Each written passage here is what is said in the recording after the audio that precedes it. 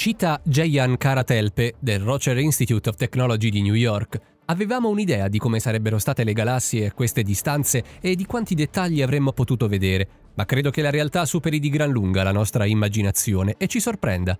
Immagina di guardare nella narseri cosmica e vedere qualcosa che non dovrebbe nemmeno esistere. Il telescopio James Webb ha appena scoperto galassie che infrangono le teorie moderne. Siamo all'inizio di una nuova era scientifica e al momento nessuno sa dove andrà a parare questo viaggio. Solo una cosa è certa, le ultime scoperte sono rivoluzionarie, sbalorditive e cambieranno per sempre la nostra comprensione dell'universo. Il James Webb Space Telescope è una meraviglia tecnologica da 15 miliardi di dollari superando di gran lunga il telescopio Hubble per quanto riguarda la portata e la nitidezza delle immagini, dall'estate del 2022 questo telescopio ci fornisce fantastiche immagini dell'universo primordiale, delle lontane nebulose cosmiche, dei minacciosi buchi neri e dei pianeti del Sistema Solare. Con 16 specchi a nido d'ape e un'esclusiva tecnologia infrarossi è il telescopio più straordinario che l'uomo abbia mai costruito. Sembra assurdo, ma questo telescopio era la speranza di molte migliaia di astronomi sulla Terra. Hanno atteso con ansia il suo lancio, sapendo che le nuove capacità del telescopio avrebbero presto mostrato cose che avevano sognato per tutta la vita. Contavano sulla verità, sulla conferma di idee che per lungo tempo erano rimaste solo teorie sulla carta, ma poi è arrivato lo shock il JWST ha fatto il suo lavoro molto bene. Dopo essere stato posizionato in sicurezza nello spazio, il telescopio ha puntato i suoi specchi per oltre 72 ore su un'area del cosmo che sembrava quasi vuota. Tuttavia quest'area appare vuota solo a noi quando guardiamo il cielo dalla Terra James Webb cattura i segnali luminosi più antichi dell'universo proprio qui, dove non ci sono stelle o galassie vicine che interferiscono in primo piano. Il telescopio è in grado di captare segnali luminosi che viaggiano verso di noi da 13,5 miliardi di anni o più. In questa immagine, dopo tempi di esposizione estremamente lunghi, questi segnali più antichi appaiono come macchie di luce rossa sfocata. La luce arancione è già un po' più vicina a noi, quella gialla ancora di più, e i ben riconoscibili punti di luce blu o bianchi provengono dalle sorgenti luminose più vicine. Quasi tutti i segnali luminosi di questa immagine non provengono affatto da singole stelle. Qui vediamo prevalentemente la luce di galassie molto antiche. Queste galassie scuotono la scienza, Forse ti sorprenderà sapere che all'improvviso molti scienziati non erano così contenti di ciò che avevano desiderato per tanto tempo. I risultati non si sono rivelati come avrebbero voluto. Astronomi e cosmologi si misero subito all'opera per analizzare questa immagine. Era chiaro che questa immagine ci avrebbe mostrato le galassie più antiche dell'universo, ma nessuno sapeva quanto fossero realmente vecchie queste galassie, come fossero formate, quanto fossero dense e quali elementi contenessero. Lo shock è arrivato quando, poco dopo la pubblicazione della foto, il ricercatore indiano-americano Rohan Naidu ha trovato una galassia che esisteva 300 milioni di anni dopo il Big Bang. E non fu l'unica scoperta di questo tipo. Naidu e il suo team, così come altri gruppi di ricerca internazionali, trovarono una galassia molto antica dopo l'altra. I rapporti si moltiplicarono e presto fu chiaro che con la teoria del Big Bang e la visione cosmologica del passato qualcosa non poteva essere corretto. Galassie come queste esistevano in un'epoca in cui avrebbero dovuto esistere solo prototipi di stelle. Chi troverà la risposta a tutte le nuove domande? La magia di questa scoperta è stata che molti giovani ricercatori impegnati si sono sentiti incoraggiati a pensare in modo diverso, a continuare a cercare galassie ancora più antiche e a credere possibile ciò che la ricerca conservatrice aveva a lungo rifiutato. Sono state avanzate nuove teorie e sono stati riportati in auge alcuni vecchi modelli dell'universo che non avevano mai ricevuto l'attenzione che avrebbero meritato. Il nostro cosmo viene reinventato scientificamente, per così dire. Quindi il JWST ha deluso solo le aspettative di chi sperava che tutto rimanesse uguale. Per coloro che pensavano già da tempo che la teoria del Big Bang non fosse completamente compatibile con le realizzazioni della moderna fisica quantistica, le nuove realizzazioni sono una conferma. Continuano a cercare la verità sull'origine e la natura del nostro universo e non si affidano solo alle teorie. In realtà questo sviluppo era prevedibile. Una delle ultime grandi scoperte di Hubble è stata la galassia GNZ11, che esisteva a un redshift di 11,6, circa 420 milioni di anni dopo il Big Bang. Questa scoperta aveva già scalfito la ragione di vecchie concezioni, ma si trattava di un caso isolato e quindi spiegabile. Più alto è il redshift, più lontano nel tempo osserviamo una galassia. Il redshift descrive quanto la luce di una galassia si sia allungata con l'espansione dell'universo. Le galassie scoperte per la prima volta da Rohan Naido e dal suo team avevano un redshift di 13, il che significa che esistevano circa 300 milioni di anni dopo il Big Bang. In seguito è stata annunciata la scoperta di altre galassie con redshift fino a 20Z. Gli scienziati conservatori si difendono finora da questi numeri e fanno notare che tutte queste scoperte sono accompagnate da un grande ma perché nessuno di questi spostamenti verso il rosso è stato finora confermato e non è nemmeno provato che si tratti effettivamente di galassie. Tuttavia la luce è innegabilmente presente ed è chiaro che deve essere vecchia, anzi vecchissima. Se non è stata emessa dalle galassie, da dove proviene? Come si determina l'età delle galassie?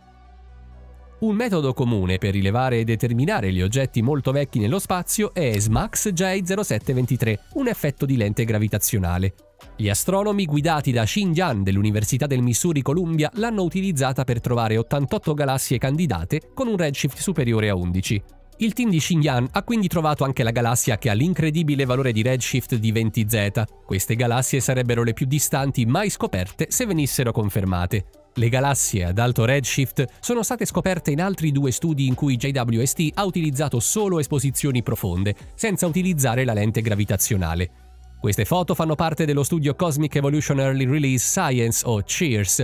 I CHEER hanno lavorato con le valutazioni della Near Infrared Camera di JWST e con i risultati della NIRCam, Ulteriori dati sulle presunte galassie sono stati determinati con lo spettrografo nel vicino infrarosso di JWST o NIRSPEC, utilizzando altri strumenti come il Mid Infrared Instrument o la MIRI camera.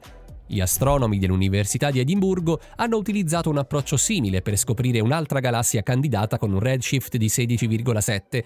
Ciò significa che questa galassia esisteva solo da poco tempo.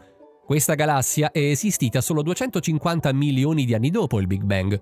Il team, guidato dallo studente laureato Callum Donon, ha trovato altre 5 galassie con redshift superiore a 12. Un altro team, guidato da Stephen Finkelstein dell'Università del Texas ad Austin, ha utilizzato il metodo CHEERS per scoprire una galassia con un redshift di 14,3 che la colloca 280 milioni di anni dopo il Big Bang. Questa galassia è diventata nota come galassia di Macy. Finkelstein ha subito trasformato la scoperta in un regalo di compleanno per sua figlia Macy. Per ora queste galassie non sono state confermate perché non possiamo vedere chiaramente che sono davvero galassie. Le nostre tecnologie non sono ancora sufficienti per questo. I computer lavorano con lo spettro della luce e lo analizzano.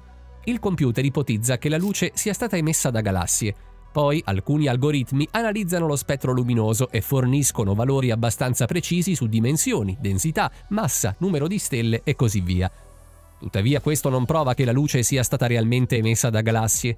Ora si parla anche di buchi neri ultra supermassicci, che possono brillare in determinate circostanze. Se il computer parte dal presupposto che la luce sia quella dei buchi neri come base per i suoi calcoli, i risultati sono diversi. Quindi i punti deboli dell'attuale tecnologia risiedono nella determinabilità di ciò che realmente vediamo in quei luoghi. Ma anche se la luce fosse emessa da buchi neri, dobbiamo chiederci come possano essere esistiti buchi neri così giganteschi poco dopo il Big Bang il Big Bang potrebbe essere esistito comunque. Tutte queste galassie lontane mostrano prove di una significativa emissione di luce ultravioletta. Questo fornisce ancora una volta la prova della ionizzazione dell'idrogeno gassoso che secondo i nostri precedenti modelli cosmologici avrebbe dovuto porre fine all'era oscura cosmica. Durante l'età oscura non c'era luce nel giovane universo, solo quando le prime stelle iniziarono a brillare l'universo si illuminò. Nel loro lavoro il team di Edimburgo ha calcolato la luminosità ultravioletta delle galassie candidate tra redshift 8 e 15 la quantità di luce ultravioletta emessa da queste galassie è stata calcolata in base al numero di stelle emesse. La quantità di luce ultravioletta emessa da queste galassie, in un determinato momento, è stata calcolata in media utilizzando le tecniche di misurazione presentate in precedenza. Le galassie, in genere, emettono più luce ultravioletta delle stelle giovani e calde. Il team di Donon è giunto alla conclusione che la radiazione ultravioletta emessa dalle stelle in queste prime galassie era più che sufficiente a ionizzare l'universo. Ciò significa che queste galassie ad alto redshift appena scoperte potrebbero essere esistite sul punto di diventare luce nel cosmo. A differenza delle galassie odierne, che possono ospitare centinaia di miliardi di stelle, queste galassie sono molto probabilmente distanti solo poche migliaia di anni luce e contengono solo decine di milioni di stelle. Secondo gli esperti scozzesi, le galassie appena scoperte riflettono generazioni di galassie che si sono formate poco dopo le prime e sono ancora in fase embrionale. L'abbondanza di galassie ad alto redshift scoperte dal JWST, così come la quantità di luce ultravioletta spostata verso le lunghezze d'onda più lunghe dell'infrarosso, suggeriscono ulteriormente che le galassie erano più numerose all'inizio della storia dell'universo di quanto si pensasse in precedenza. Si tratterebbe di una scoperta completamente nuova, ma che non rovescia necessariamente la teoria del Big Bang. Dovremmo solo correggere le nostre precedenti ipotesi sulla durata dei secoli bui e sulla formazione delle prime stelle e galassie. Secondo il tema di Finkelstein, il nostro cosmo brillava già con molte piccole galassie meno di 300 milioni di anni dopo il Big Bang. A queste scoperte però dobbiamo aggiungere che non sono le uniche nel campo. Altri ricercatori hanno trovato galassie molto antiche nelle immagini del JWST che appaiono molto grandi e massicce. La loro luminosità potrebbe essere stata pari a quella delle galassie attuali. Questi ricercatori concludono che le prime galassie, se sono state le prime, devono essere state dei veri e propri booster stellari, è possibile che in esse si siano formate moltissime stelle giganti, molto luminose e dalla vita piuttosto breve. L'esistenza delle prime stelle giganti era già stata dimostrata a livello computazionale, tuttavia i ricercatori non avevano ancora ipotizzato che queste prime grandi stelle fossero già organizzate in galassie. L'astronomo Ren Suez dell'Università della California, Santa Cruz, ha confrontato le fotografie Hubble e Webb delle stesse galassie scattate intorno al mezzogiorno cosmico.